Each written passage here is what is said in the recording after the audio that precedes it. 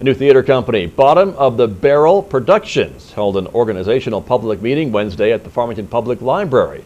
They were encouraging individuals with an interest in theater to join. Bottom of the Barrel co-founder PJ Gillen hopes the company will bring the community together. So our goal with Bob and why we call it bottom of the barrel is we're literally starting from the ground up and we're going to rise to be the cream and the crop uh, soon. Bottom of the Barrel production will offer monthly workshops to help members grow and practice their craft. There's a $10 membership fee to cover the cost of those workshops, the first of which is coming up Wednesday, July 25th. For more information about Bottom of the Barrel, you can email Gillen at bottomofthebarrel at yahoo.com.